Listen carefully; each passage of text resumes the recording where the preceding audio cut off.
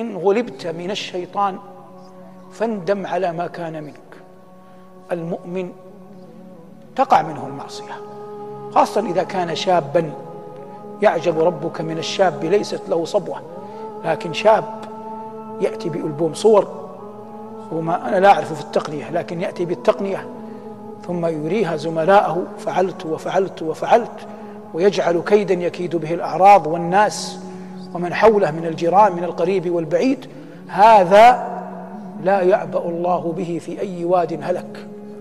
لكن قد يأتي أحد الناس أحد الشباب تقع منه الزلة تقع منه الخطيئة. فأنا أقول له أول الأمر لا تخبر بذلك أحدا. فالناس تفضح ولا تعذر. والله يستر ويعفو.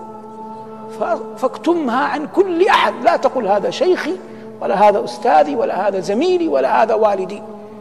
أقل ما يعني أقل ما يمكن أن ينالك أنه سينظر إليك بعد ذلك نظرة ازدراء. والله لو أصبحت إماما للحرمين. لأنه سيتذكر تلك المعصية فأنت حقير في عينيه فلا تخبر أحدا. لكن إن كنت صادقا في الندم فإن الله جعل أبواب التوبة مفتوحة. يا عبادي الذين أسرفوا على أنفسهم لا تقنطوا من رحمة الله. قل أستغفر الله الذي لا إله إلا هو الحي القيوم وأتوب إليه. في الحديث من قالها سبع مرات غفر الله له ما تقدم من ذنبه وإن كان قد فر من الزحف. قل سبحان الله وبحمده مئة مرة. من قالها من قال سبحان الله وبحمده مئة مرة غفر الله له ذنوبه وإن كانت مثل زبد البحر.